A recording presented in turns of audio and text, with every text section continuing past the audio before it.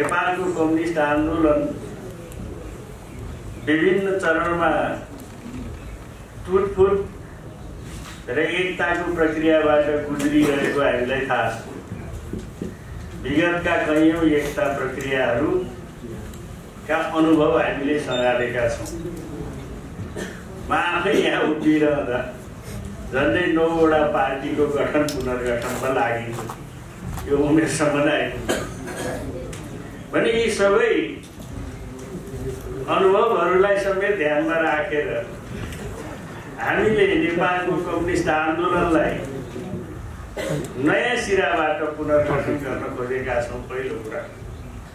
त्यो नयाँ सिराबाट पुनर्गठन गर्ने भनेको म एउटा सरल भाषामा भनौँ।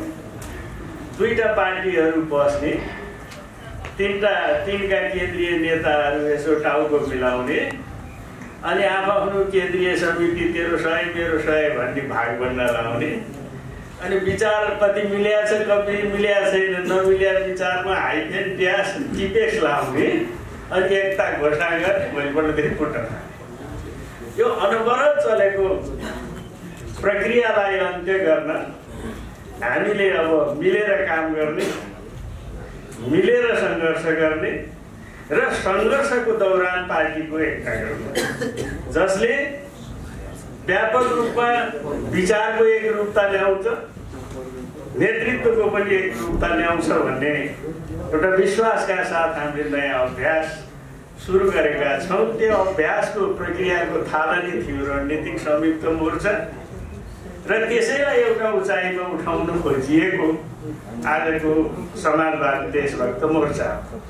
त्यस कारणले यसले हामीलाई विश्वास छ नेपालको कम्युनिस्ट आन्दोलनलाई विसर्जनवादको विरुद्ध क्रान्तिकारी मार्क्सवाद लेनिनवादको रक्षा गर्दै नयाँ सिराबाट क्रान्तिकारी शक्तिहरूलाई गोलबद्ध गर्नेछ सङ्घर्षमा उतार्नेछ र नयाँ धाराबाट कम्युनिस्ट आन्दोलनको उचाइमा यसलाई पुर्याउनेछ। अब जहाँसम्म अहिलेको वर्तमान अवस्थाको प्रश्न छ अहिले देशमा हामीले देखिरहेका छौँ।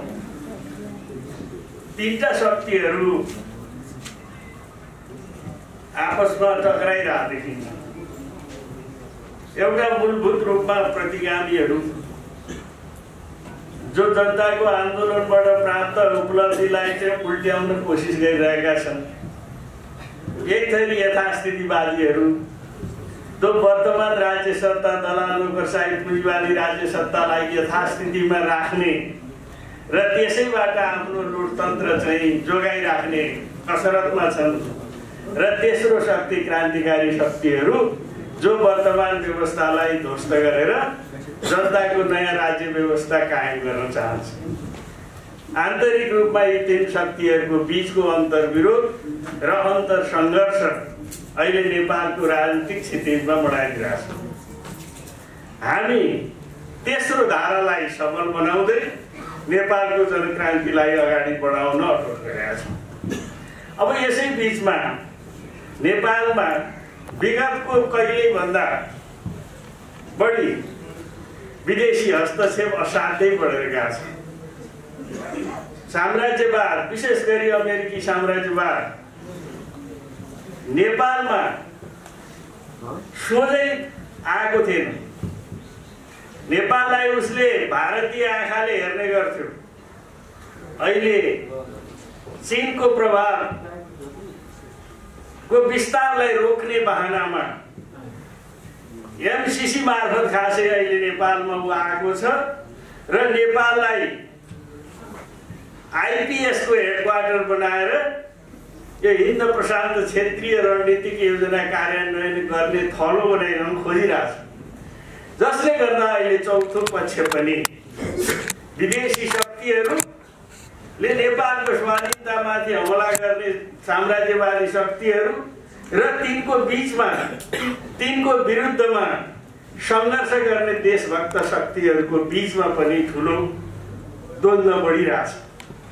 यी कुरा सबैलाई ध्यानमा राखेर हामीले अब नेपालमा हाम्रो मोर्चाको माध्यमबाट नयाँ सिराबाट जनक्रान्तिको थालनी गर्ने र नयाँ सिराबाट मुलुकको स्वाधीनताको रक्षाको सङ्घर्षलाई बढाउने अठोट गरेका हौँ हामीलाई विश्वास छ यो अठोटले यथास्थितिवादी शक्तिहरूका विरुद्ध सङ्घर्ष गरिरहेका सबै खाले प्रगतिशील देशभक्त र क्रान्तिकारी शक्तिहरूलाई एउटा एउटा धारामा गोलबद्ध गर्नेछ र नेपाली जनताको मुक्ति र नेपाल नेपाल राष्ट्रको स्वाधीनताको रक्षाको लडाइँमा लाई एउटा उचाइमा पुर्याउने छ भन्ने विश्वास हामीले लिएका छौँ र त्यही विश्वासलाई ध्यानमा राखेर हामी यो काम अगाडि बढाइरहेछौँ।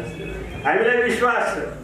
सबै क्रान्तिकारी शक्तिहरू देशभक्तहरू परिवर्तनकामी शक्तिहरू अब हाम्रो मोर्चाले प्रारम्भ गर्ने सालमा भन्दा नयाँ खाले जनक्रान्तिमा लामबद्ध हुनेछन् र वर्तमान राज्य सत्ता दलाल नोकरसाही पुँजीवादी राज्य सत्तालाई ध्वंस गरेर नेपाली जनताको नयाँ राज्य सत्ता स्थापित गर्ने सङ्घर्षमा लामबद्ध हुनेछन् भन्ने हामीलाई विश्वास छ।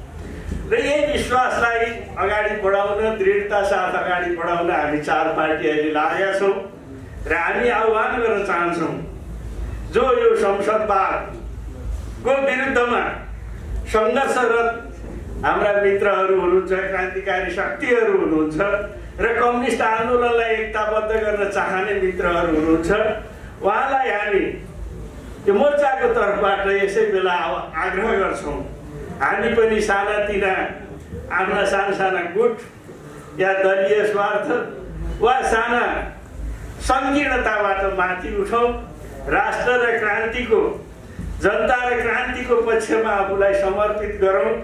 त्यो उचाइमा उठ्न बाहिर बसेर सङ्घर्षरत रहेका सबै क्रान्तिकारी मित्रहरूलाई पनि हामी यो बेलामा आग्रह र अनुरोध गर्छौँ। विश्वास छ। आउँदा दिनमा यो सहकार्य र यो अलिक विशाल हुनेछ वृद्धि हुनेछ र यसले नेपाली जनताको क्रान्तिको नेतृत्व गर्ने छ भन्ने हामीले विश्वास ल्याएको छ।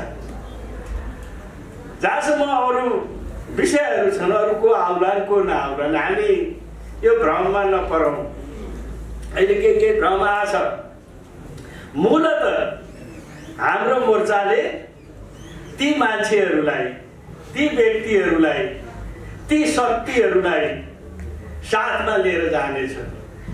जो सामन्तवाद साम्राज्यवाद विरुद्ध सङ्घर्ष गर्छन् जो देशभक्त छन् र विदेशी हस्तक्षेपको विरुद्ध नेपालको राष्ट्रिय स्वाधीनताको रक्षाको लागि सङ्घर्ष गर्छन् जो यथास्थितिवादी संसदीय व्यवस्था दलाल व्यवस्थाको विरुद्ध सङ्घर्ष गर्ने अठोट गर्छन् ती सबै शक्तिहरूलाई हामी यो मोर्चाभित्र गोलबन्द गर्ने सहकार्य गर्ने र त्यो आन्दोलनको सहभागिताको निम्ति आग्रह गर्ने काम गर्ने नै छौँ।